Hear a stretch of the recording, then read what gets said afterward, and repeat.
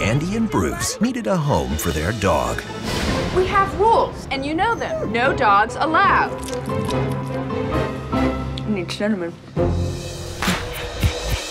I think we need to find Friday a new home. Oh. Now they found the perfect place. Are you thinking what I'm thinking? Oh yeah, why don't we just wander the streets and rescue every stray we see?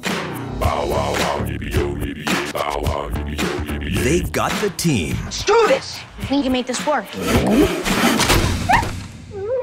This is the newest member of our family. We could take one more. One more, we can fit like 10 more. they've got the mission, We got a straight on St. Andrews and 6th. Come on, guys, you're being rescued.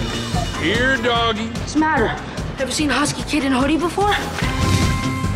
There's a lot more to taking care of them than feeding them. They've got the plan, You made this? Yeah, to take care of them, even when we're not here. and every stray will have its day. Thank you for riding the simulator. Please exit for the next customer. From DreamWorks Pictures, I'd like to welcome you to the Hotel for Dogs. To us, to a real family. and Nickelodeon Movies.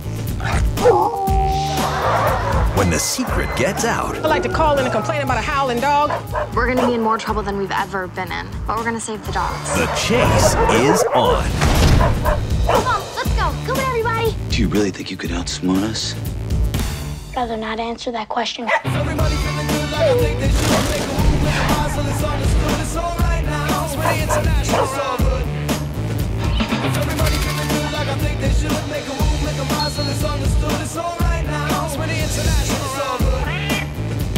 They're out dogged.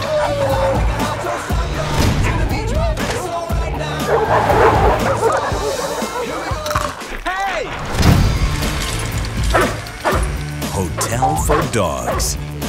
That has to be the grossest thing I've ever seen.